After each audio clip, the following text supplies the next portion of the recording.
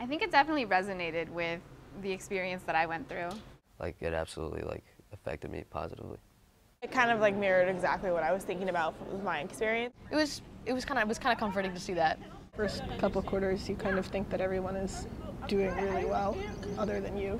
I liked it in the sense that uh, I sort of connected with it because that's how I was kind of like my freshman year. The idea of struggling in classes has become a little less abstract to me. Yeah, I could definitely relate that it's really difficult to sort of seek help. I mean, I know that there are resources, but it's very hard to to sort of seek them out because you think that there's something wrong with you that you don't belong. And I've definitely felt at times that I was also the one that was the mistake. Even though people tell you, you know, it's going to be fine, like your future is fine, you still worry about everything every day. There are actual people here that you can talk to.